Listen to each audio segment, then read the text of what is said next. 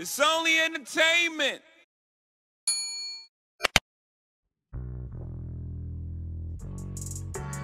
Welcome back to the Talking Hedge. I'm Josh Kincaid, capital markets analyst and host of your cannabis business podcast. Today we're going to take a look at a pitch deck review, or a pitch deck rather, from Health Green. We're going to see um, what the pitch deck is all about, look at seven tips to a successful investment deck, and see if they uh, follow all seven criteria for us. Being number one, are they going to identify the business plan goals? Number two, do they know their audience? Three, will they understand the market? Four, are they going to identify needs and roadblocks? Number five, do they know what sets the business apart? Six, will they introduce the team and products? And number seven, will they create a summary with a call to action? Let's find out. With us, Katrina Glogowski, angel investor and attorney. Thanks for being back on the Talking Hedge. Thanks, Josh. We're going to look at uh, cultivation, extraction, and exportation of cannabis via Green Health's pitch deck here. So they're a Colombian company born from the vision of a business group from the health sector that believes in medical cannabis as a business opportunity with the country economic growing and social impact through employment generation. Hmm. Laudable goals. Right off the bat, looking at the team. So, founders, they got more than uh, two years in the cannabis industry. hey, but one of them's a CPA, Josh. Come on. CPA, a lawyer, and an economist. All right. That's a definitely a good trio there. Got technical director, some uh, engineers, analysts. I like that word, agronomical, agronomical engineer. Mm-hmm. All right, so it looks like um, I'm assuming that these are some of the brands that they have not really sure here. There's a, just a slide here with a bunch of different um, names, and I'm assuming it's strategic partnerships or um, or brands that they've got. So the opportunity here with uh, Health Green uh, in Colombia is medical. So they're looking at uh, the U.S. Uh, equivalent of 5.9 million dollars for international sales, um, with 7.3 I'm assuming million hectares or thousand, 7.3 thousand, 7,000 hectares. I don't know. but they uh, assume that a lot of the production is going to go to Holland, Canada, Peru, Bolivia, Colombia, and then uh, using that 2018 Farm Bill to get into the U.S.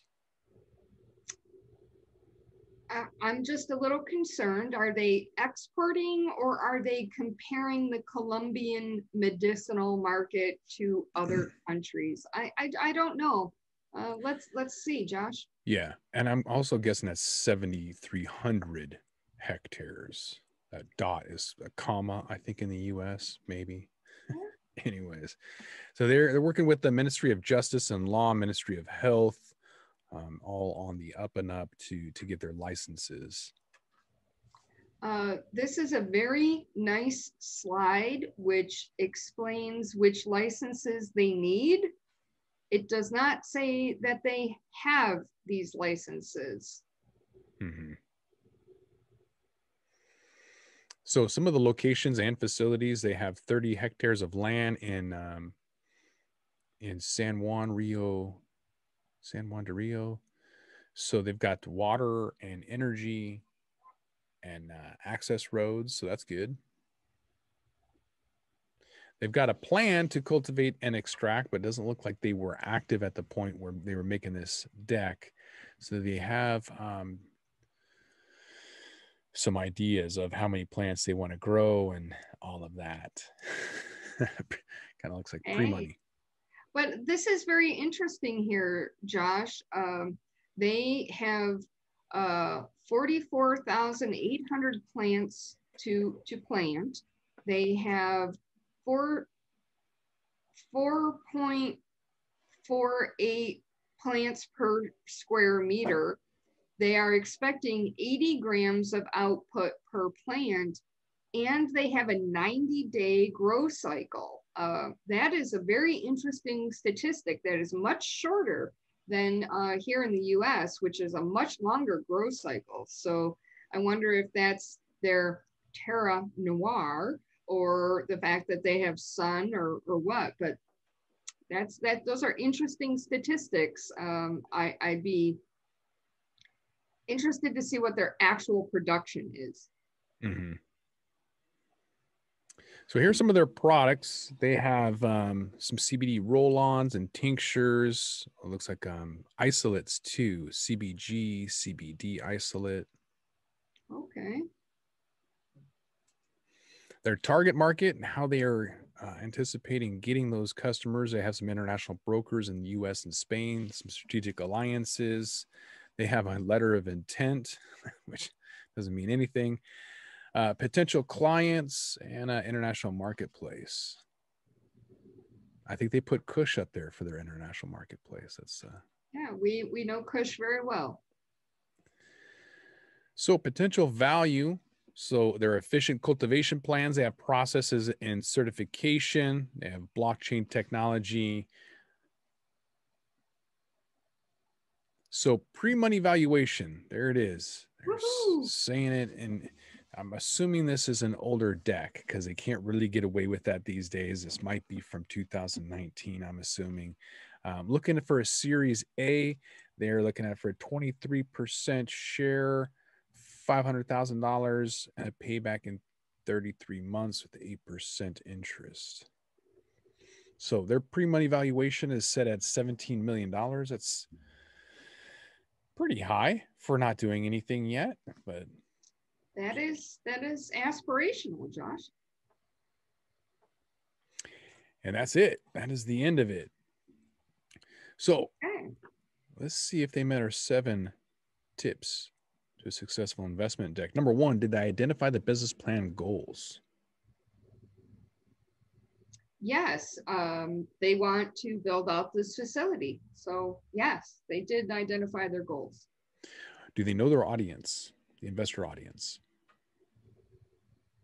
Yes, I'm going to give them a half a point here, Josh, because they did use all the catchphrases. Uh, they did touch on the licenses, uh, and they did touch on some production level things. Uh, but I'm going to take away the other half of the point, Josh, because this is this does not appear from this deck to be an operational business, which gives investors great pause. This is an idea. Do they understand the market? I think that they have an idea that indicates they have some knowledge of the market, but they did not give me enough to establish that they understood the market. So I can't give them a point there, Josh. All right. Identifying needs and roadblocks. They did identify their needs. Uh, specifically, they need a license. Um, specifically, they they need this equipment and they need to build out the facility and they need the money to do that. So they did identify their needs. They mentioned the license. So yes, um, they need everything, Josh. They do.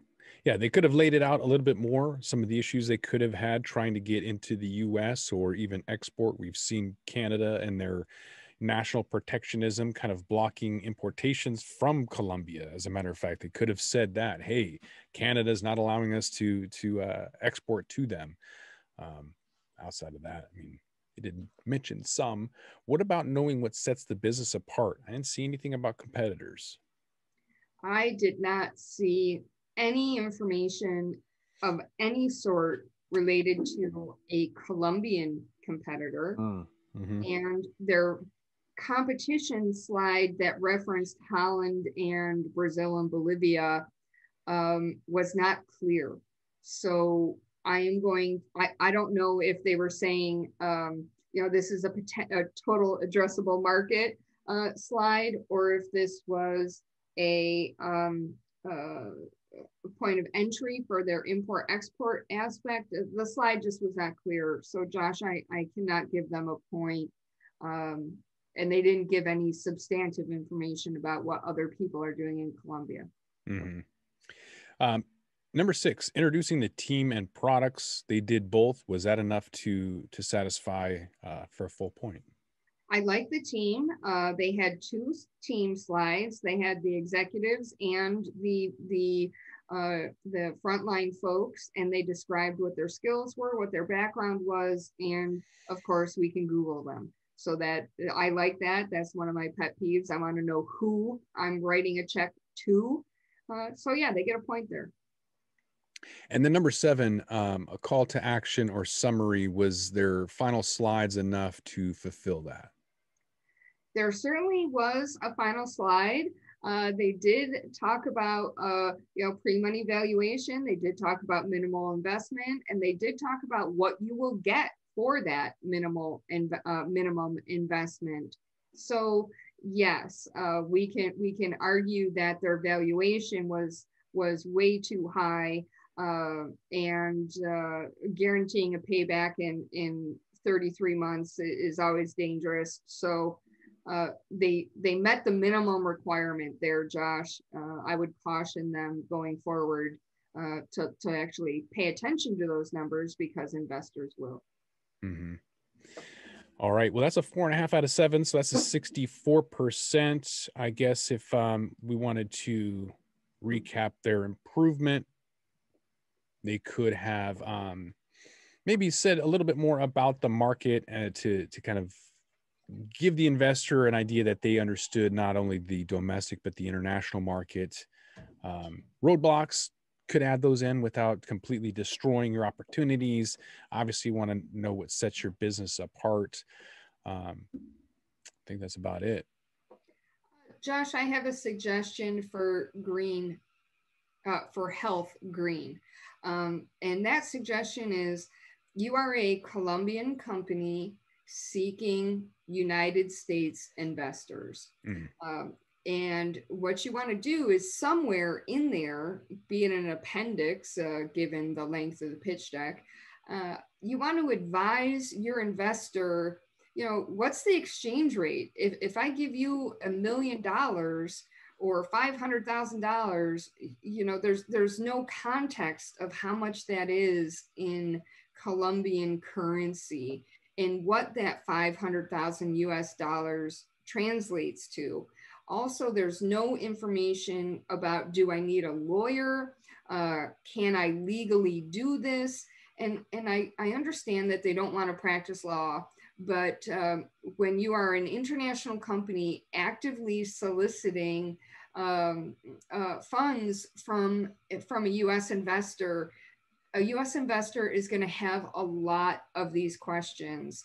Uh, what are the tax consequences uh, of, of this investment in, in a foreign country? And, am I going to have to pay capital gains? And whether or not uh, you directly answer the question, it's very helpful to say, you know, here's some accountants, here's some lawyers who you can call to, to find out this information, um, something to, to answer these baseline questions. And we see this with international companies a lot, Josh, and the international folks would, would do well to, to provide some of this information, a link to a website, something um, to answer these questions. And that would be my uh, suggestion for any international company, Josh. But especially if you're pre-money, you have to do a little bit more work if you're pre-money and do some of the due diligence for your investor um, to kind of give them a, a little bit of a teaser. Because i mean it's if they came out with that deck in 2020 or even 2021 there's no way people are going to look at that. So that's why i'm assuming it could be from you know a year two two maybe three years ago um, but we are seeing some decks that still are pre-money in in Latin America, um, on on uh, continent of Africa, uh, parts of Eastern Europe, uh, Madagascar, or not Madagascar. Um, I forget uh, Macedonia. Um, get get a couple of decks out of there. So all over the place, really. Um, so this is a, a, a English as a second language or, or foreign deck that we see was really good. So 64% isn't bad. Um, just kind of want to put some more information in there, especially since you're pre-money to kind of help uh, those investors out. So all in all, decent deck. We've seen worse we have seen worse. And if you're an investor out there listening, as opposed to an entrepreneur, uh, danger, danger, danger pre money. Uh, uh, an idea, it, it's tough to fund an idea. True It's- that. extra tough to fund an idea in a foreign country. Absolutely. All right, good time to roll this one up. I want to thank my guest, Katrina Glogowski, angel investor and attorney. Thanks for being back on the podcast. Thanks, Josh. With that, we're going to roll this one up. I'm Josh Kincaid. This is The Talking Hedge. Don't forget to like, share, and subscribe, or don't, and I'm out. Don't forget to smash that like button on your way out and check out these other videos that we've got.